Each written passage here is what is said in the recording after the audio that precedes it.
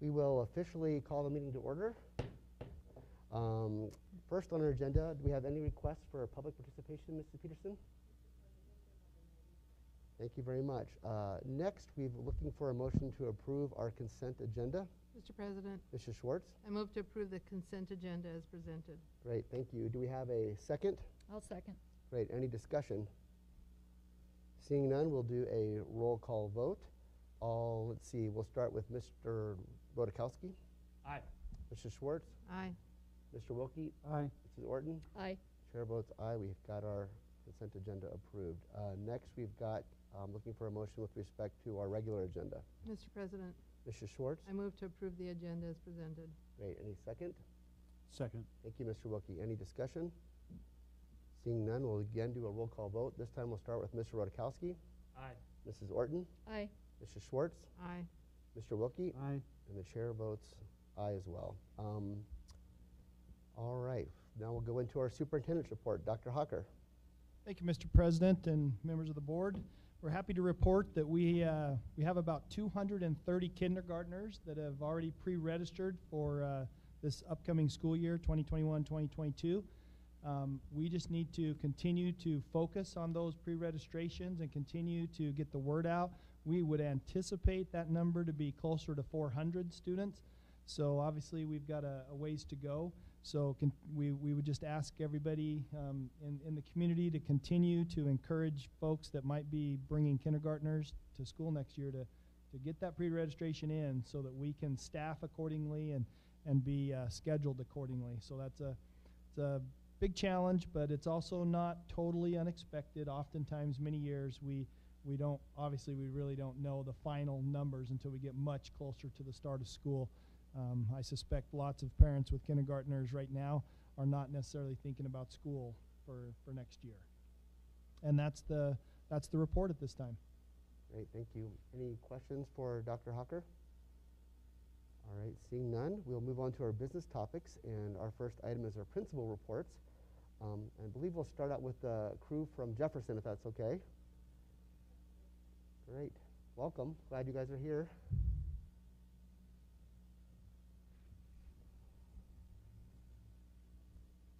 So we're here to present on behalf of Mrs. Streeter, who is out of the office right now. Um, just want to talk a little bit about the Pennies for Patients um, Hero Squad campaign that we just recently did. It went really, really well for our school.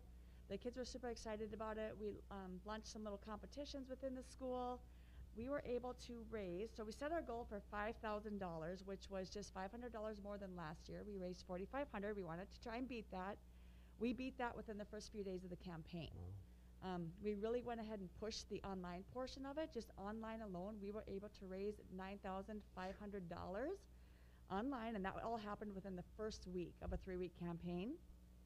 Um, we also did our uh, like a cash and coin week. So we had dress up days to go along with that, where they would bring in pennies, nickels, dimes, quarters, and then their dollar bills, and that alone raised another like twenty eight hundred dollars. So our total came to twelve thousand eight hundred and fifty-seven dollars. Um, just to give you kind of an idea, our top classroom raised over sixteen hundred dollars, and then we had fourteen hundred dollars and thirteen hundred dollars in our top three classrooms alone. Um, something that we did to kind of incentivize us is um, we offered a night at the movies or afternoon at the movies little basket for the top fundraising classrooms. Kids were really excited about that. We had one student alone that raised seven hundred and forty dollars. Um, so kudos to him. Um, the kids they really did understand that they were. It's good to have these projects to show kids what it's like to to give, and I think the kids really started to understand that kind of stuff. Um, I'm going to have Dinah just talk a little bit about what she did to kind of encourage it in the classroom. All right. So um, basically, in each of our classrooms, we were given a goal of $500 or more. Um, and then various classrooms, I kind of went around and talked to some other teachers. Um, they did things like when people put money into the jars, they would all clap and cheer for each other, which just got the kids even more riled up and excited. um, some of the classrooms incorporated the money into um, their actual money units in math. so they were learning about what quarters, dimes, nickels all cost or are, worth. So then they used that to incorporate it into their math lessons. So that was really cool to see um, that the other classrooms were doing fun things like that.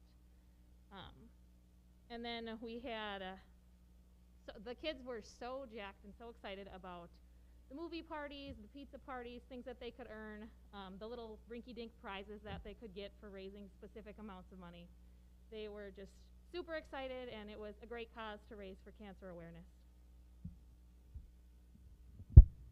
Um, some of the other things that we did that were cool, um, we did a flash 48 challenge. So it's how much money you could raise within 48 hours. And I don't remember what the amount was that they had to raise.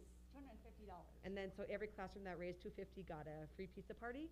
And then something else that was kind of neat um, that wasn't expected last week Thursday, Mrs. Streeter said that every single classroom got to have a popcorn and a movie party movie party in the afternoon. So the kids really really enjoyed that. It was just the whole three weeks of it. I feel like the school was a buzz. It was really fun.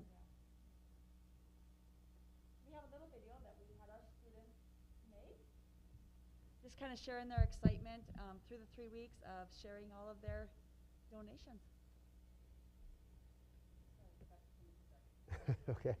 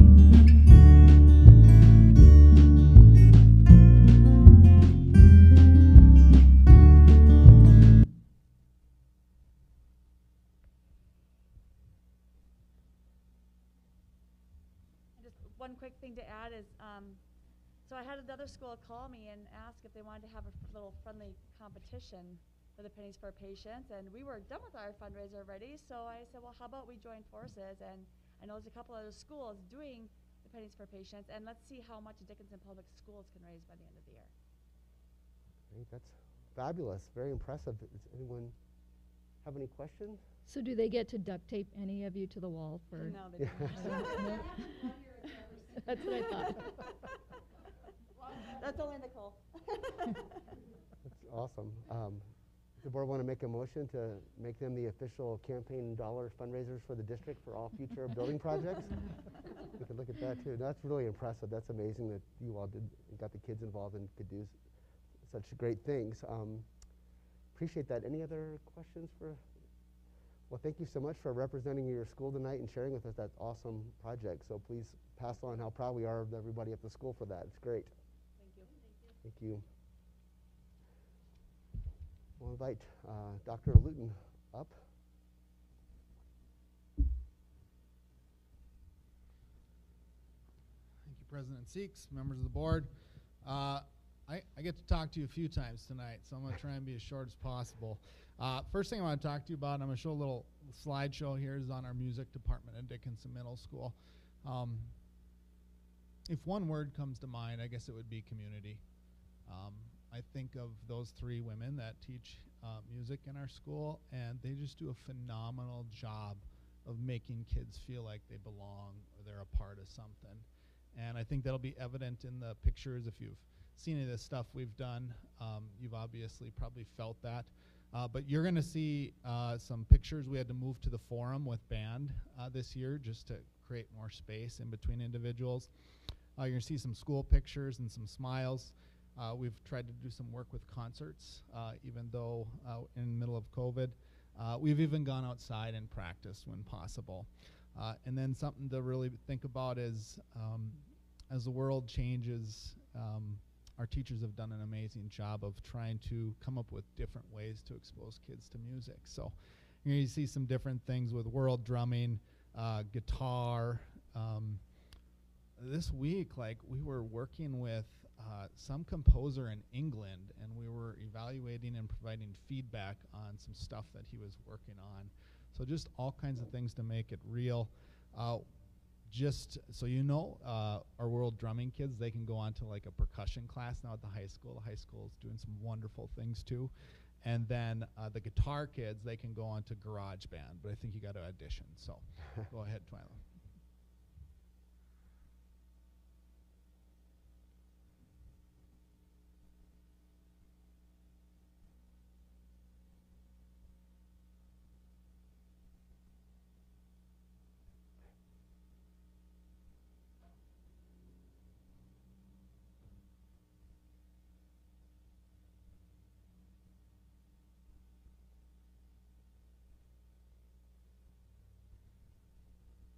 the beginning of this, she says, "We're the masked bandits." This is the masked We're masked drummers.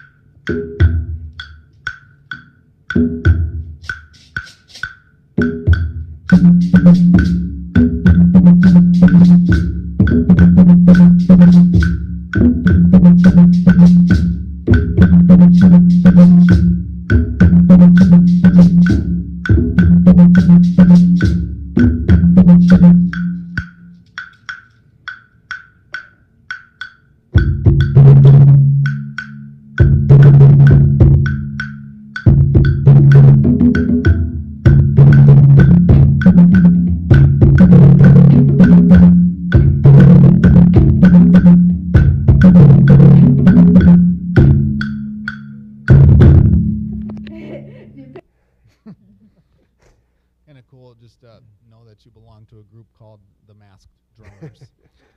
Uh, the next thing I wanted to visit with you about is uh, last year we were approached um, to offer hi- uh, algebra at the middle school next year. Uh, and um, so right away, two things that you need to know about that is that next year we'll offer we'll offer algebra at the middle school for our kids. Uh, we we began creating a track, and, and when I say track, uh, it's not a static track. So two things. First thing to remember is it's not static, so kids go in and out of it as needed. Um, they re- receive supports as needed. Uh, and then the other thing is that we, we took uh, great diligence in making sure that if a kid is goes through middle school and he's in algebra in eighth grade, he is going to get those sixth through eighth grade standards. They're just occurring in sixth and seventh grade. Uh, if he or she struggles and it doesn't work, we have supports in place uh, to assist those individuals, and, and maybe it doesn't end up working for them. But just know that it's not a static, it, it's very flexible in nature. And uh, you pull up that diamond, Twyla, really quick? So I quick threw this together this morning, and, and at the top, I guess I forgot that we were in a big room. but at the top is, is algebra and advanced grade six, advanced uh, grade math. Uh, and those arrows illustrate all the different uh, interventions, uh, enrichments that we have in place for our students when it comes to math at Dickinson Middle School. And that's, I just wanted you to look at those arrows, and, and I, I can't, you can't read it, but maybe you can look at it later. But that's the, the key is that it's not static and that individuals receive supports as needed. So I'd entertain any questions on either two of those uh, items. Thank you, Dr. Luton. Luton. Any questions for Dr. Luton, other than the obvious, which is why wasn't there a cowbell in the drum piece? Do you know? You know, um, if you do come to Dickens Middle School, there are cowbells on occasion. Miss Dykema does utilize them, so it, it Okay. is entertaining. Thank goodness. I'm relieved to hear that. They did a great job, obviously, um, although I do really love cowbells. Anyone else have any questions for Dr. Luton? Luton? The- um, you have any, just with this algebra program, do we have any guess how many students will be a part of that, or could be a part of that next year? You know, um, so next year, right now, uh, President Seaks, there are roughly, uh, it's in the high 20s, almost 30. Great. Uh, keeping in mind that uh, just below the top advanced math, there's a thing called uh, team taught. Uh, and what we've done with that team taught math is uh, we've started to use some of our, our interventionists uh, to push into classrooms and team teach with uh, our math teachers in seventh grade. And what they do is uh, they're not only assisting those kids that that need a little bit extra help, so there's small group breakouts. Oftentimes, when you go into those classrooms, you'll probably see three different groups working. Like as an example, um, last week I was in uh, Miss Jacobson and Mr. Long's class, and Miss Jacobson had three kids that she's identified. She thinks are probably she's going to be able to um, place in the algebra class next year, even though they're not in that cohort. She thinks she can get them the standards by the time end of the year. And then Mr. Long was working with some individuals on interventions for that class. So in this one class, you had enrichments. They're actually teaching Pythagorean theorem, which is taught in eighth grade. And then they were working on interventions on kids that were struggling with seventh grade curriculum. And then in the middle, there were kids doing learning checks. And then when Miss Jacobson was done and kids were doing what they needed to do, she she pushed back in and helped those other kids. So um, it'll be probably more than more than um, it'll be in the low 30s, I'm guessing. So. Great. Very impressive. Well, great. Um, one thing to consider is that we will, uh, our hope is that those individuals will have, um, that take eighth grade algebra and they pass eighth grade algebra, uh, will receive high school credit, uh, but that they're still required to take those three credits of math within high school. So it's not a, it's not an easy way out or whatnot. So Sure. you have to, you just have to take more math essentially. But it gets you deeper into the math curriculum within the high school. So. Great. Thank you very much. Any other questions for Dr. Luton? Well, thanks for sharing and all the great things going on at the middle school. Appreciate it. Uh, next on our uh, topics, we've got um, Best Friend Mentoring Program. We've got a new director. I see Mr. Billings there as well. And uh, Ms. Rabbit, welcome.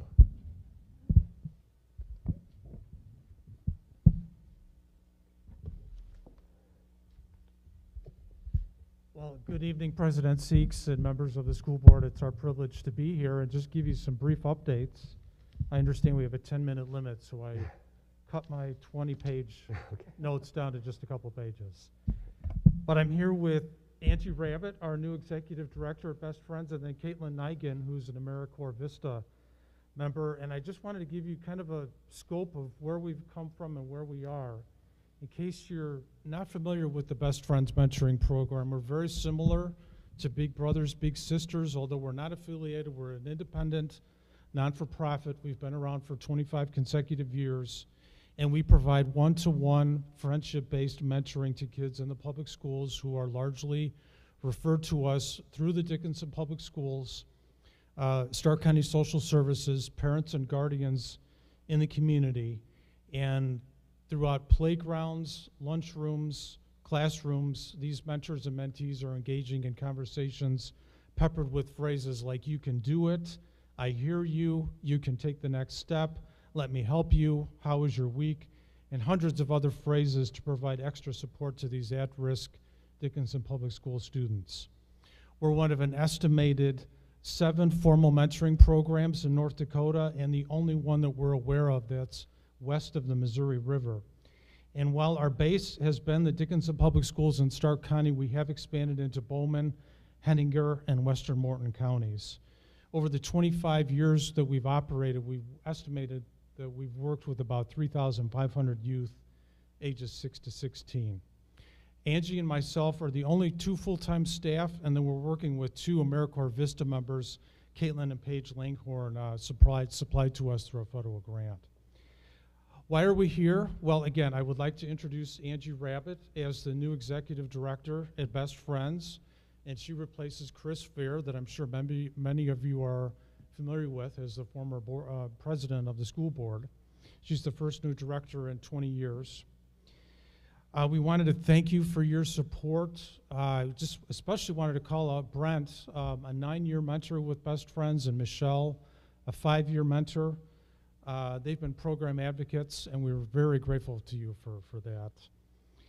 Um, we've gone through four transitions this past school year, uh, past COVID, from a, a, an array of virtual mentoring programs to some supply platforms to community-based, and now we're slowly reintroducing our mentors back into the schools.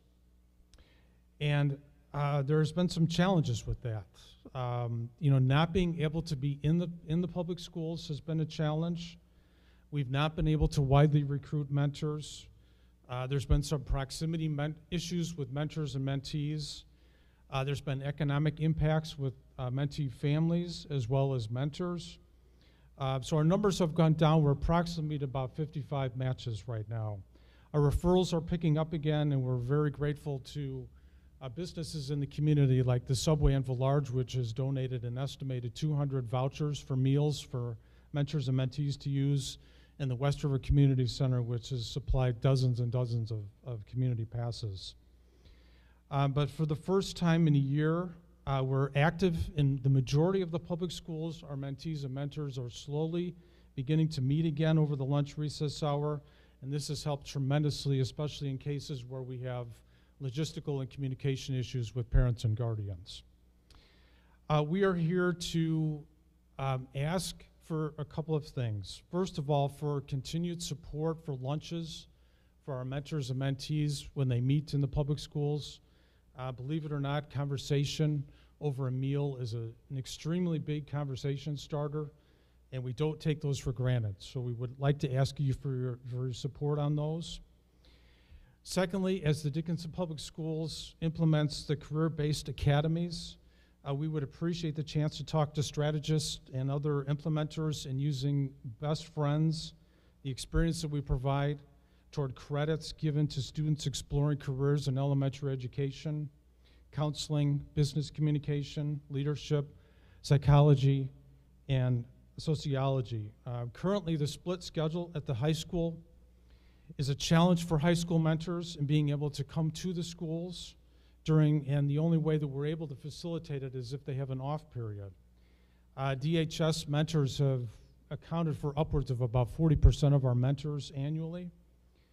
And uh, we're hoping that with increased access to these students, that we'll be able to continue to use them. We're hoping possibly under your uh, developing career academy model. I just wanted to highlight a couple of our high school mentors. Uh, one in particular, Dawson Richter, who's a, a junior at the high school. He's working with one of our referrals from the Southwest Judicial Court. Uh, they meet on Sundays at the community center to play basketball.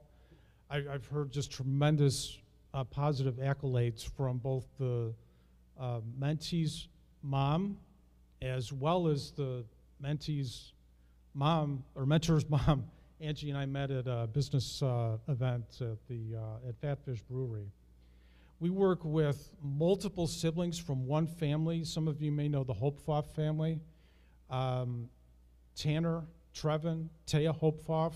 Taya is a basketball player this year. Some of you might be aware of. She's a high school senior. Uh, Tanner was a previous mentor. He's gone into the business world, moved back to Dickinson. He's now currently on our board of directors. We sometimes work with generations of families of mentors and up to four family members of mentors at, at one time.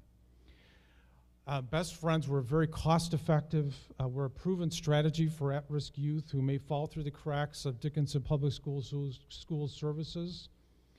And while we've always had a strong working relationship with the public schools, we're open to new strategies to focusing our partnership going forward. So with that in mind, I'd like to take any questions that you may have for us uh, before we close our time with you. Thank you, Mr. Billings. Any questions for best friends crew representing today? Don't see any at this time. I'll just um, thank you all for all the work you have done, Mr. Billings, and we look forward to getting to you, you better, Ms. Rabbit, and, and uh, we look forward to this continued partnership that we have with you all. So thank you so much for coming tonight and sharing. We appreciate it. Yeah, and I'll leave some brochures here in case anybody would like to take one later. Thank you again. Thank you. All right. Call Dr. Luton back up wearing a different hat uh, with respect to the North uh, Campus, the Halliburton property. Yeah, first I that was great. I really appreciate that. I, I think the ideas of partnershiping with them on on some of those uh, uh, capstone projects for our seniors is a great idea. Um, first, I'm going to talk a little bit about CTE, and I got a little bit of uh, slideshow. Last month was February was CTE month, and I proposed to Dr. Hocker the day before the board meeting if I could I could uh, meet with you guys, and I was a little late, so I'm going to kind of show some pic so show some pictures. I think if I had the theme was community for music, I think the theme would be looking out for kids. Um, I, I, there's two CTE teachers in a room, and I, uh, you know, I could probably give examples uh, for both of them. But uh, Miss Lehman uh, in the back here, uh, we had a kid that had a, a work experience kind of fall through, and her and Mr. Schmidt actually were able to find an alternative work experience for this kid that was really bummed out. Uh, and then and then we did come through, and, and you'll see his picture in here later that he does have a, a work experience at Highlands. Uh, uh, the other morning at six in the morning, I, I that's when I usually leave for work, and I heard the shower running downstairs, and my eldest son was up at six in the morning, and I was like, what, "What's going on?" so when I got home that night, I go, "Why? Why were you up at six? Oh, I had practice with Mr. Schmidt for construction. So. Um, kudos to them. I thought that was pretty cool. My boy doesn't get up early for anything unless it's making money. So, um, you're going to see a video here in a little bit, and uh, or a, a, couple slides. You're going to see Ag Class Range Camp was alive and well. FFA is going on. Advanced drafting. You're going to see some NAWIC. Uh, we we participate in a national competition every year for drafting. We do well. We have winners almost every year. Uh, you're going to see some auto pictures. You're going to see some culinary arts, some early childhood stuff, which is a really popular class. Uh, our midget market had to close because of COVID. So kudos to our teachers. They like adjusted. We got within before school started even I think we we had a vending machine and, and kids are running that. We still got banking hours for the student bank. See some goofy power sports pictures. Uh, see some kids in constructions framing and doing some tool operation. Our health sciences, you're going to see the dental assistant stuff uh, and some EMR items. Uh, you'll see some welding pictures, tech and engineering. You'll see some kids doing some electrical engineering stuff.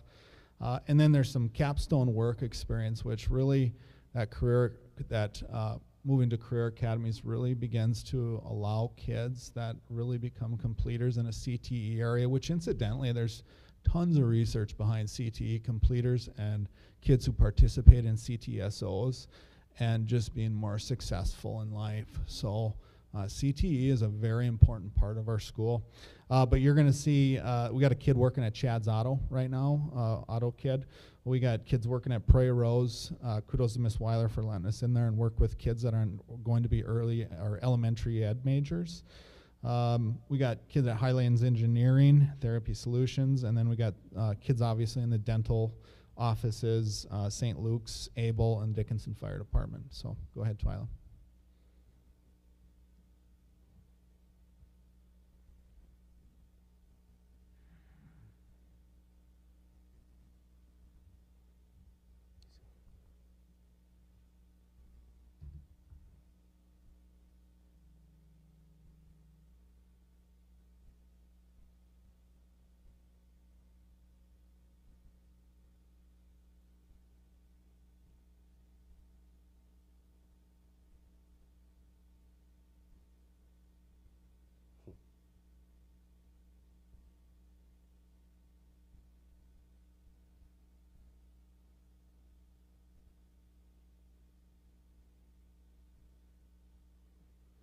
So lots of kids learning by doing.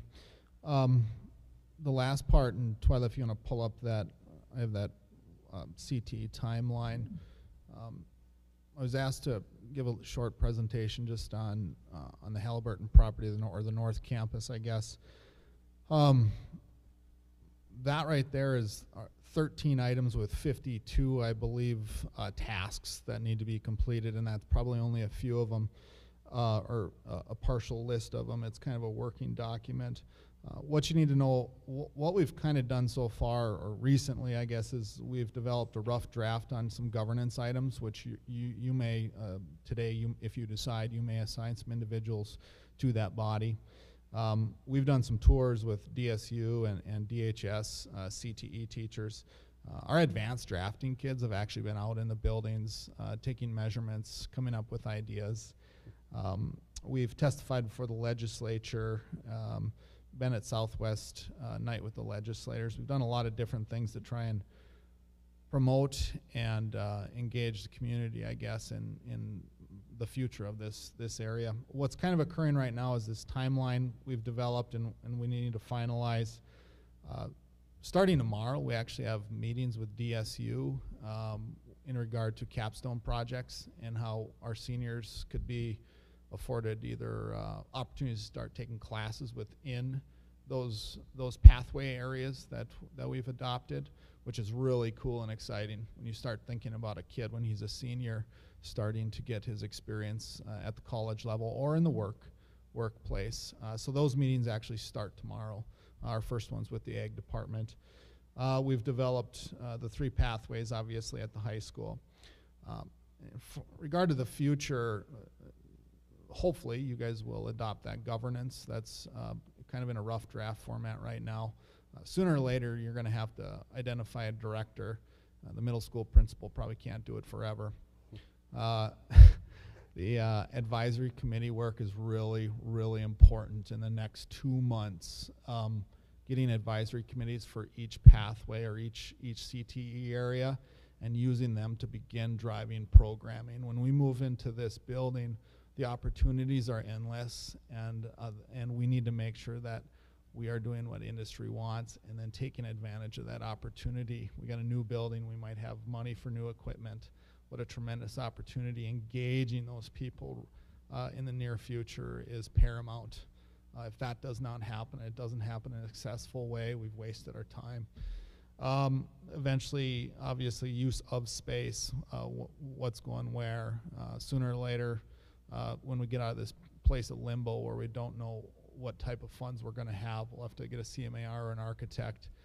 And then part of that programming is PD opportunities that probably need to begin this summer uh, with our CTE teacher. I talked to Director Catherine a couple weeks ago, and she's looking into grants that we could possibly uh, provide um, funds, equipment, whatever, for some of our CTE teachers to begin working alongside uh, some of the uh, business uh, industry experts. I'll entertain any questions. Dr. Luton, who's a part of the rough draft? Uh, so this is kind of like a little snapshot of what's happened. Um, yeah, that document, uh, Mr. Hepperly, Mr. Harris, Mr. Hohertz, uh, Ms. Trustum, and I sat down and, and kind of sketched that baby out. I, I blurred it because it's rough yet. Sure. Uh, Mr. Hepperly and I are meeting on Wednesday afternoon to try and finalize some of those things. So, really, uh, um, when we built the middle school, we had something very similar. It actually had 13 committees too, but it was a 29 month process. This is process is probably going to be a little more expedited, but um, once you have this map, then you can kind of. The problem is everything's connected to everything. So if you don't have something laid out like this and you miss one thing, it's like a general contractor for a car, car, or construction company. You know, they're masters of things like this. But that's the purpose of it, I guess. The one thing in green there uh, is communication. If we don't, if we don't find a way to communicate and communicate well what's going on, um, the thing can go off track pretty quickly. So. Thank you. Any other questions for Dr. Luton? Let's take this opportunity to commend the, all of our staff uh, affiliated with the CTE program at our high school. It- Wonderful things come out of there, and we don't stop and pause and appreciate that enough. So we want to say thank you. Please pass that on, and, and we want to thank you, Dr. Luton, and all those that have worked so hard um, on this CTE Southwest Area Center that we're working and putting together. We can't even imagine how much work that is, and it's definitely a, a monumental undertaking, and, and uh, you guys have done a great job, and we look forward to that continuing to move forward. So thank you so much. Thanks for your support. All right. Next, we've got, uh, on in terms of business topics, we've got the uh, Budget Input Development Committee update, and um, that was, as you recall, we had a special meeting in which we approved refinancing of uh, the bond, and so I don't know if anyone has any updates on that. Um, Mrs. Hunter, I think that's pretty much it. Is that right, or do we have anything else to add on that? No, not really. That was about all it was. Great. Um, Thank you. Um, There's no more on that topic. We'll move into our um, business topics. And uh, the first thing we have to do is, is with respect to, or not have to do, where we're entertaining the a motion with respect to a, um, a bond. Mr. President, Mr. Schwartz? I move to approve the initial resolution for general obligations school building fund bonds in the amount of six million five hundred thousand dollars as presented. Thank you. Do we have a second? I'll second. Thank you, Mrs. Orton. Any discussion about that? Um, We t- talked about this in the committee of the whole meeting about the um, idea that this um, funds could be used, if approved, by the public and all those type of things. uh, We are able to um, use those funds for possible project. It could be the CTE Center, it could be in, with our other schools, right, Dr. Hocker, in terms of the scope of this? That's correct. All right. Any other discussion? All right, uh, seeing none, we'll do a roll call vote. We'll start with Mr. Wilkie, Aye. Mrs. Orton, Aye. Mr. Schwartz, Aye. Mr. Rodakowski. Aye. And the chair votes aye. All right. Next, we've got um, the petition representing the organization of the DEA. We're looking for a motion. Mr. President, Mr. Schwartz.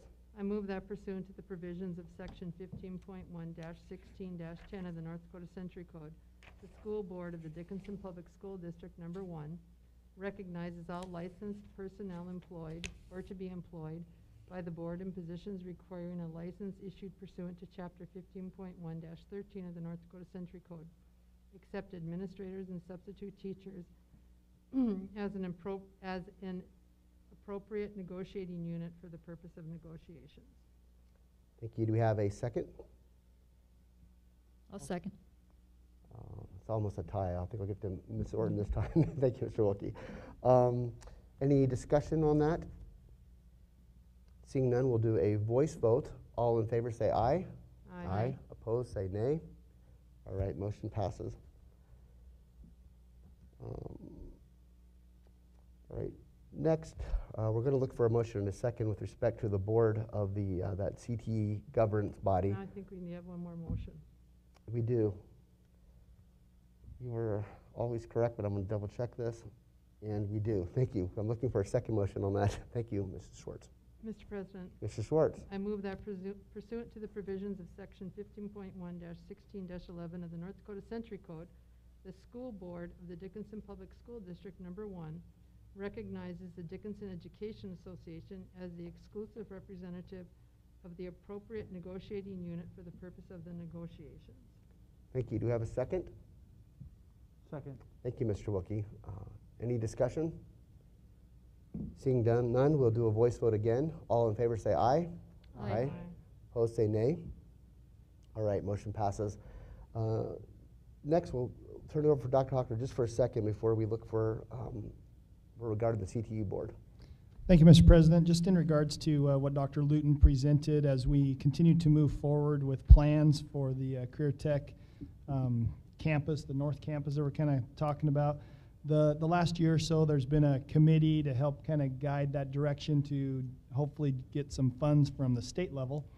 And it's become evident that we need to have a governance board organized to, to help uh, finalize the, the working documents, the, uh, perhaps the 501c3 um, application itself, those sort of things. And so there's been a, been a decision to uh, create a, a governance board of seven. And on that governance board, Dickinson Public Schools would have two representatives. And uh, those representatives obviously can be anybody that you would like to have. My recommendation might be um, perhaps President Seaks serving in one of those seats, and, and perhaps your Assistant Superintendent, Mr. Keith Harris, who is also our Facility Director um, at this time, could serve in those capacities. But the, the next real step of that group is to uh, look through the, the documents that are presented. There'll be a meeting coming up uh, within the next month or so where uh, that whole, hopefully everybody this month kind of appoints their representatives from their organization, and then those representatives get together and have their, their have a meeting to to finalize the documents so that we can take the documents to the next level and have our attorney approve them and look them over um, before perhaps uh, formal approval. Thank you, Dr. Hocker. Um, We'll entertain a motion for board members for this. Mr. President, Mrs. Orton, I move to appoint board members Brent Seaks and Assistant Superintendent Keith Harris to represent the DPS Board on the CTE Governance Board for the first term of appointment. Furthermore, I authorize Board President Mr. Brent Seaks to review and upon satisfaction, sign it- the Joint Powers Agreement, Articles of Incorporation, and the bylaws. do we have a second? I'll second. Thank you, Mr. Wilkie. Discussion. Um, I'll just bring up the note, I also, as a part of being on the board, I also serve on the RACTC board, and I know that board met last Wednesday to talk about this, and uh, while excited about this possibility, they, there was a lot of questions, especially regarding um, the, the bylaws and how this is all going to be put together and those type things. And so that board uh, put together kind of a subcommittee to kind of work out those things. And so it sounds like the way this is leaning is that if each organization is able to appoint folks to serve, then those folks will get together and like we talked about, hammer this out. But there certainly will be uh, attorneys involved, just so you'll know. My thought would be, uh, before I would approve anything, I certainly would want our school district attorney to have reviewed that and, and make sure that it makes sense, and all parties would have to feel like that document's good. So there's not, as Dr. Um, Luton pointed out, this, we're all hoping this thing can keep moving forward, and um, there's a sense of urgency to getting that done, but I certainly think it's going to take some time to uh, work through that stuff. But are there any other discussions about that? Other thoughts? All right. Uh, we will do a roll call vote. We will start with uh, Mr. Rodakowski, Aye. Mrs. Schwartz, Aye. uh, Mr. Wilkie, Aye. Mrs. Orton. Aye. Chair votes aye. Um, Next, I'm looking for a motion with respect to open enrollment applications. Mr. President, Mr. Wilkie, I move to approve the open enrollment application for a child of Mandy Snyder from Belfield Public, child of Karina Noble from Belfield Public, child of Wayne Brangle from South Heart Public, and a child of Lindsay Holzenagel from South Heart Public, all to Dickinson Public Schools as per the open enrollment policy. Thank you. Do we have a second? Mr. President, I'll second that. Great. Any discussion? Seeing none, we'll do a voice vote. All in favor say aye. Aye. Opposed say nay. Motion passes. Uh, Next, we're looking for a motion with respect to early resignations.